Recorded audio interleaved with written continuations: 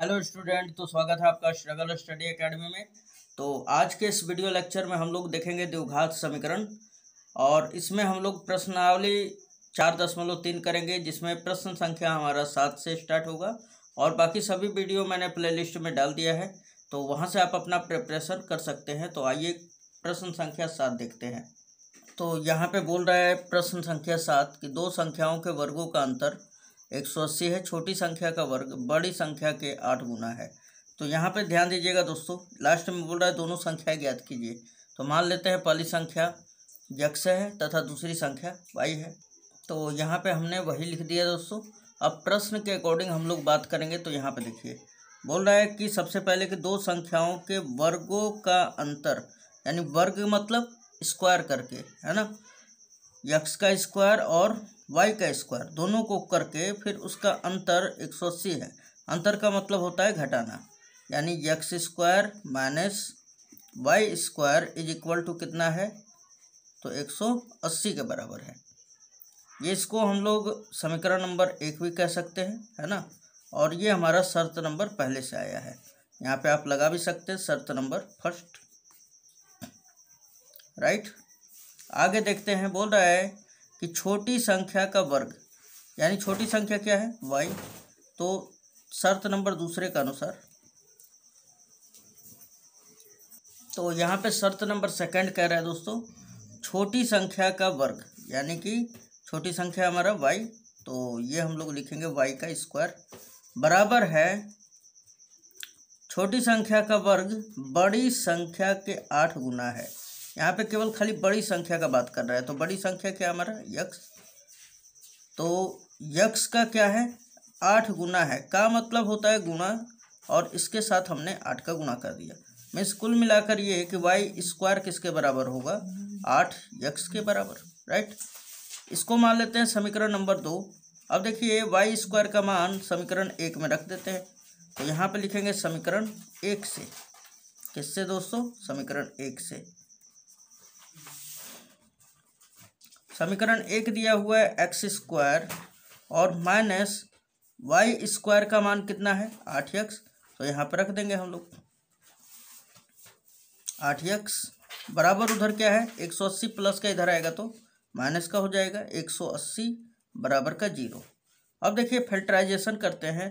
तो x square का गुणा करेंगे एक सौ अस्सी में तो एक सौ अस्सी एक्स स्क्वायर अब अगर इसे आप तोड़ते हैं तो बहुत ही आसान है। देखिए एक्स स्क्वायर माइनस अट्ठारह यक्स कर देंगे और प्लस कर दे रहे हैं दस यक्स। तो अठारह में से दस घटेगा तो बचेगा माइनस का आठ और गुणा कर देंगे तो एक सौ अस्सी आ जाएगा। ये माइनस क्या है हमारा? एक सौ अस्सी। बराबर कितना हो जाएगा? ज़ीरो। इन दोनों में से कॉमन करिए। यक्स कॉमन हो जाएगा तो क्या बचेगा? एक्स माइनस अठारह। राइट? और दूसरा बचेगा हमारा। इन दोनों में से क्या कॉमन है? तो प्लस दस कॉमन है है ना? यहाँ पे क्या बचेगा? यक्स और यहाँ पे क्या बचेगा? माइनस का अठारह इज़ इक्वल टू ज़ीरो अब देखिए, ये वाला पोर्शन दोनों एक में ले लेते हैं हम लोग, यक्स प्लस टेन और एक हम लोग इन दोनों में से रख लेते हैं। यानी कॉमन भी हम लोग कर सकते हैं दोनों में से राइट यक्स माइनस अठारह बराबर कितना है? ज़ीरो तो अब ज़ीरो के इक्वल करते हैं हम लोग, है ना? कंपेरिजन ज़ीरो के equal x plus ten is equal to zero so ये प्लस में इधर गया तो माइनस में। यानी माइनस टेन। और दूसरा, यक्स माइनस अठारह जो है ज़ीरो के बराबर है तो यक्स का मान कितना आ जाएगा? अठारह। यानी यहाँ पे देखा जाए तो पहली संख्या हमारे पास यक्स था और यक्स का मान दो आए हैं, दस और अठारह। तो आइए अब हम लोग दूसरी संख्या भी ज्ञात कर लेते हैं। इसलिए यहाँ पे लिखेंगे कि जब यक्स बराबर अठारह हो, जब एक्स बराबर अठारह हो, तब दूसरी संख्या कहाँ से लेंगे दोस्तों? यहाँ से। तो वाई स्क्वायर बराबर क्या था हमारा? आठ यक्स यक्स का मान हमने रखा अठारह, है ना? अठारह आठ है, एक सौ चौवालीस। और स्क्वायर अब भेज देंगे तो रूट चढ़ जाएगा, यानी वाई का जो मान है, आ जाएगा आपका प्लस माइनस बारह। और प्लस माइनस बारह जो है पॉसिबल है। क्यों? क्योंकि बारह का स्क्वायर कीजिए या माइनस बारह का स्क्वायर कीजिए, आपको क्या मिलेगा? एक सौ चौवालीस ही मिलेगा। राइट चलिए, अब दूसरा देख लेते हैं हम लोग। तो यक्स बराबर माइनस दस पर, जब यक्स बराबर माइनस दस है, तब हम वाई स्क्वायर बराबर आठ गुण यक्स का मान रखे अगर माइनस दस तो ये आ रहा है माइनस का अस्सी, जो कि पॉसिबल नहीं है। किसी भी संख्या का वर्ग माइनस में नहीं आ सकता ऋणात्मक नहीं हो सकता है ना तो इज़ इक्वल टू नॉट होगा। तो कहने का मतलब है कि क्या होना चाहिए? तो पहली संख्या अठारह होना चाहिए और दूसरी संख्या बारह होनी चाहिए, है ना? तो यहाँ पे लिख देंगे, इसलिए पहली संख्या पहली संख्या बराबर अठारह और दूसरी संख्या बराबर क्या हो जाएगा? दूसरी संख्या बराबर बारह हो जाएगा, है ना? तो यहाँ पे बड़ी संख्या अठारह भी कह सकते, छोटी संख्या बारह। तो ये आपका आंसर हो जाता है दोस्तों। चलिए नेक्स्ट क्वेश्चन देखते हैं हम लोग। प्रश्न संख्या हमारा आठवां कह रहा है दोस्तों। एक रेलगाड़ी एक समान चाल से 360 किलोमीटर की दूरी तय करती है। यदि यह चाल पाँच किलोमीटर प्रति घंटा अधिक होती तो वह उसी यात्रा में एक घंटा कम समय लेती। रेलगाड़ी की चाल ज्ञात कीजिए। तो यहाँ पे ध्यान दीजिएगा। यहाँ पे बोल रहा है कि पहले कि ये मान लीजिए कि 360 किलोमीटर है। यहाँ से यहाँ तक का दूरी, है ना? 360 किलोमीटर पूरा दूरी है। अब बोल रहा है कि हम मान के चलते हैं कि माना कि रेलगाड़ी का जो लास्ट में बोल रहा है ज्ञात करने के लिए उसी को लेट कर लेते हैं दोस्तों, ठीक? तो मानेंगे हम लोग कि रेलगाड़ी की चाल बराबर एक्स किलोमीटर प्रति आवर, है ना? या आर तो यहाँ पे हमने लिख दिया, माना रेलगाड़ी की चाल बराबर एक्स किलोमीटर एक्स किलोमीटर प्रति घंटा। अब दूरी क्या दिया हुआ है दोस्तों? तो ये तो दूरी हमारा कितना चल रहा है? तीन सौ साठ किलोमीटर ना? तो लिख देंगे कि दूरी बराबर तीन सौ साठ किलोमीटर।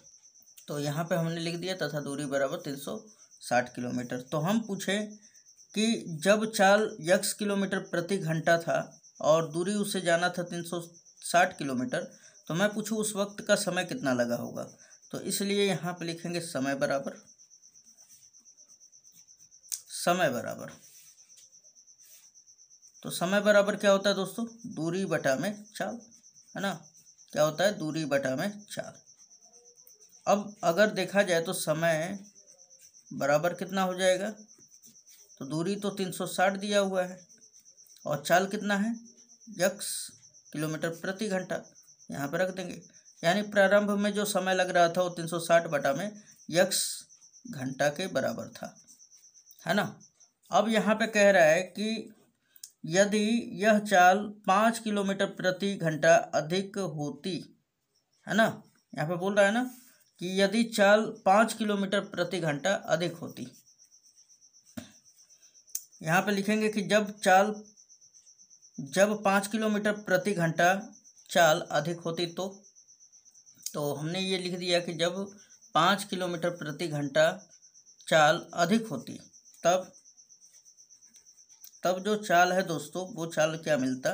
तो चाल बराबर पहले था यक्स शुरू में, और जब पाँच किलोमीटर बढ़ गया प्रति घंटा तो ये यक्स प्लस पाँच हो जाएगा, है ना? किलोमीटर प्रति घंटा।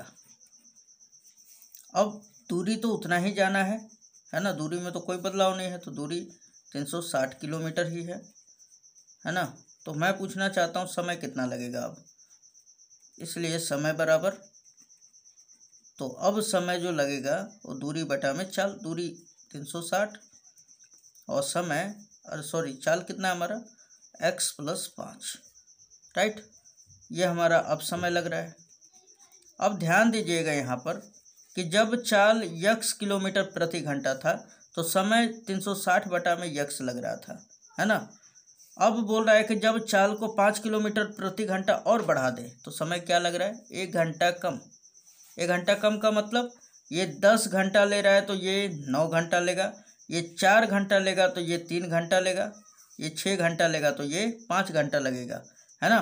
तो कहने का मतलब ये वाला समय अधिक लग रहा है, किससे? इससे। ये वाला समय कम है। तो यहाँ पे अकॉर्डिंग टू क्वेश्चन यहाँ पे प्रश्न से हम लोग लिख सकते हैं। प्रश्न से। वो वाला समय, यानी तीन सौ साठ बटा में यक्स जो समय है, वो ज़्यादा है किससे? तीन सौ साठ बटा में एक्स प्लस पाँच से।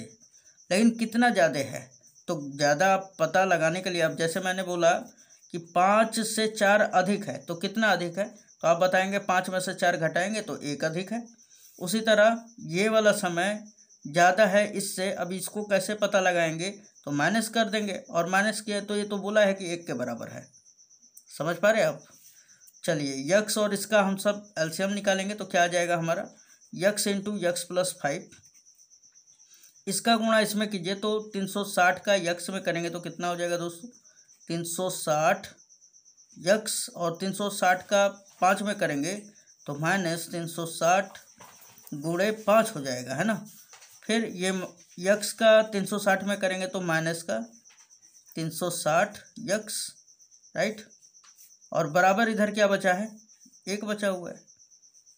अब देखा जाए यहाँ पर तो ये माइनस का ही, ये प्लस का कट जाएगा हमारा। यहाँ पे बचेगा माइनस तीन सौ साठ। और ये गुणा कर लेते हैं हम लोग, ठीक? है तो यहाँ पे बचा, गुणा कर लेते हैं तो पाँच छः का तीस, एक ज़ीरो तो है ही हमारा तीन हाथ में। पाँच या पंद्रह और तीन अठारह। ये माइनस में आएगा। अब देखिए, यक्स का चाहे इसका गुणा कर लेते हैं हम लोग? इसका पूरा का पोर्शन का एक में गुणा कर लेंगे, है ना? इधर भेज देते हैं तो ये भाग में है तो उधर जाएगा तो गुणा में। तो बराबर यक्स का यक्स में गुणा करेंगे तो एक्स स्क्वायर यक्स का पाँच में करेंगे तो प्लस फाइव यक्स ये माइनस का इधर गया तो प्लस का, यानी x square plus five x और ये इधर आएगा तो प्लस का हो जाएगा, यानी अठारह सौ। बराबर कितना हो गया? ज़ीरो। अब देखिए दोस्तों, अब इसको तोड़ते हम लोग फैक्टराइजेशन करेंगे तो यहाँ पे देखिए। एक्स स्क्वायर प्लस पैंतालीस यक्स में से चालीस यक्स अगर घटा दें तो ये बचेगा पैंतालीस में से चालीस घटाएँगे तो पाँच, पैंतालीस का चालीस में गुणा करेंगे तो अठारह सौ। आइए प्लस अठारह सौ। अगर आपको इसको तोड़ने में अगर दिक्कत आ रहा है तो आप इसका अभाज्य गुणनखंड ज़रूर निकालें अठारह सौ का, आपको तुरंत कन्फर्म हो जाएगा राइट अब आगे देखते हैं दोस्तों तो इन दोनों में से क्या कॉमन है? तो हमारा कॉमन है दोनों में से यक्स है ना? क्या कॉमन है? यक्स कॉमन है। और क्या बच रहा है हमारा? यहाँ पे यक्स बच रहे हैं, यहाँ पे पैंतालीस। यक्स प्लस पैंतालीस, है ना? यहाँ पे दोनों में से क्या कॉमन है? तो माइनस का चालीस कॉमन है। अब यहाँ पे क्या बचेगा? तो यक्स और यहाँ पे क्या बचेगा? माइनस पैंतालीस। Forty five is equal to कितना हो जाएगा? ज़ीरो ये और ये वाला पोर्शन हम लोग एक में रख लेंगे, यानी यक्स माइनस चालीस और ये हमारा एक्स प्लस पैंतालीस। इज़ इक्वल टू क्या हो जाएगा? ज़ीरो अब तुलना कर देते हैं। तो एक्स माइनस चालीस इज़ इक्वल टू हो जाएगा ज़ीरो इसलिए यक्स बराबर चालीस। और यहाँ पे यक्स प्लस पैंतालीस बराबर होगा ज़ीरो के, इसलिए यक्स बराबर माइनस पैंतालीस। जो कि पॉसिबल नहीं है। कभी चाल जो है ऋणात्मक नहीं हो सकता। तो क्या हो जाएगा हमारा धनात्मक में? तो चालीस किलोमीटर प्रति घंटा। इसलिए यहाँ पर लिख सकते हैं रेलगाड़ी की चाल। रेलगाड़ी की चाल बराबर क्या हो जाएगा? चालीस किलोमीटर प्रति आवर्स राइट? ये आप देख सकते हैं। तो उम्मीद है ये वीडियो लेक्चर आपको ज़रूर समझ में आया होगा और ज़रूर यूजफुल होगा। अगर आप सभी वीडियो देखना चाहते हैं तो हमारे चैनल के प्ले लिस्ट में पड़ा हुआ है और आप वहाँ से प्रिपरेशन अच्छी तरह से कर सकते हैं। तो मिलते हैं नेक्स्ट वीडियो में दोस्तों। धन्यवाद। अगर फिर भी कोई प्रॉब्लम होता है तो पीछे आगे करके ज़रूर देखें वीडियो को। और फिर भी प्रॉब्लम होता है तो हमें कमेंट ज़रूर करें, ठीक है? मैं आपका ज़रूर सोल्यूशन करूँगा। तो मिलता है नेक्स्ट वीडियो में। धन्यवाद।